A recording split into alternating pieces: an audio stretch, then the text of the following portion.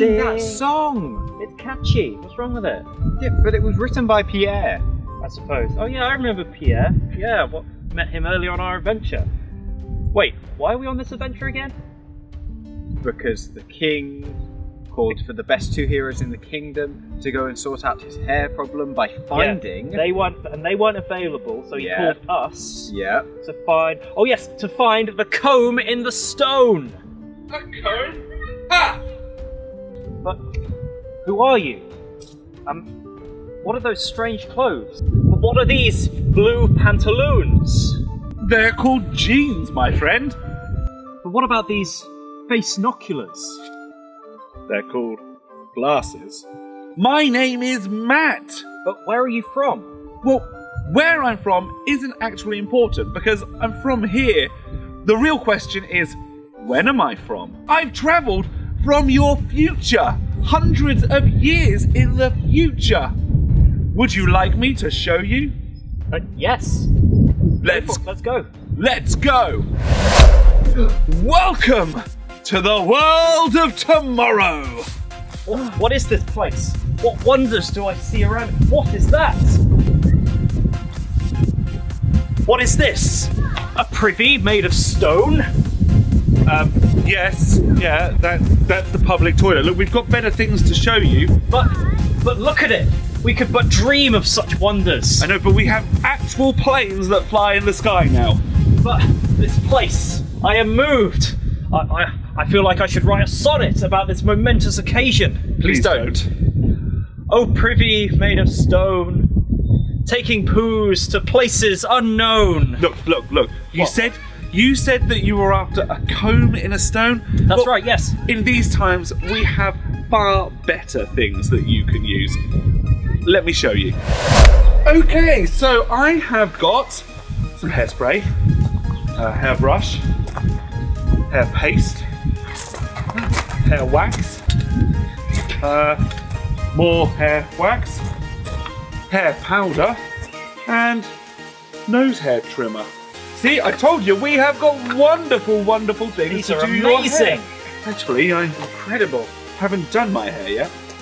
Uh, just hold on to that a second. Okay, okay. I'll just in the reflection here.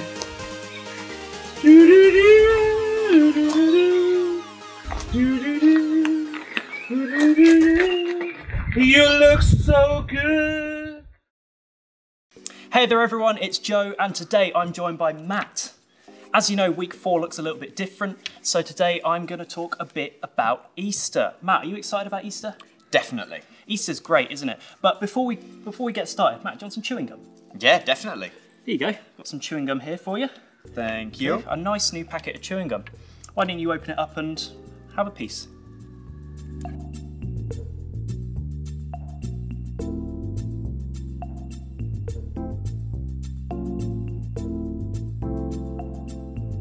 So, what does this have to do with Easter? Matt, this has everything to do with Easter. In the Bible, Jesus died on a cross and he was buried in a tomb, and they put a giant rock over the entrance so nobody could get in. Mm-hmm. However, the story doesn't end there because two women find the tomb empty. They were expecting one thing and they found nothing but emptiness, just like you found there was nothing in the chewing gum. How did you feel when the pack of gum was empty, Matt? A little confused. A bit confused, eh? Exactly. You didn't find what you expected, did you? No, definitely not. Matt, why was the tomb empty? Well, because Jesus was and is alive. Exactly. And so the message of Easter really is quite simple. Jesus died and rose again.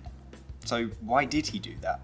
To make a way for me and you and you to be friends with God again. Wow. That's awesome stuff, Matt. if any of you at home want to be friends with God, then all you have to do is ask Him.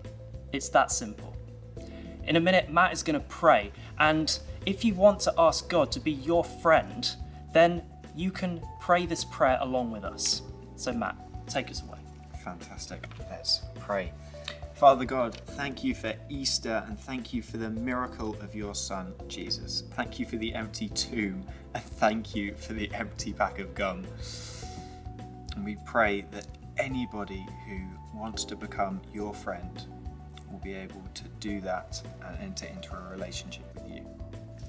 Amen. Amen. Well, shall we go? Shall we go see how our heroes are getting on? Yes, why not? I think we got away from him, but we are running with such speed. Hey guys! A bit out of breath, are we? What is this horseless carriage, and how does it work? Ah, another invention of the modern times. Internal combustion engine. I could do this all day. Keep on running if you want.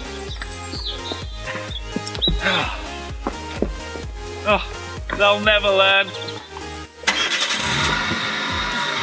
Toot toot!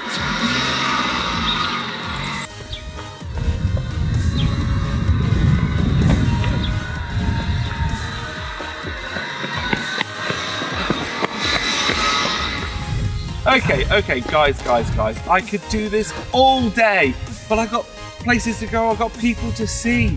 How about you just give me them back and we'll go about our day? But it's only a few small hair care products. What could possibly go wrong? But even the most tiniest, seemingly insignificant thing could have a shattering impact on the world that we live in. Our king just wants to have hair as glorious as yours. Oh, guys. Go on then, let's give it a try. Let's see what happens. Ready? Ah. I love this clapping thing. Okay, we're back. Yep, Everything seems alright. yeah, we're good. All's Yep. well. Everything's looking good. You Yep. see, I told you nothing could go wrong. I It's all just um, have one question. Yes, what's that? Do you normally have a dancing Godzilla in your range? No. Why? Oh, I just wonder what that was over there.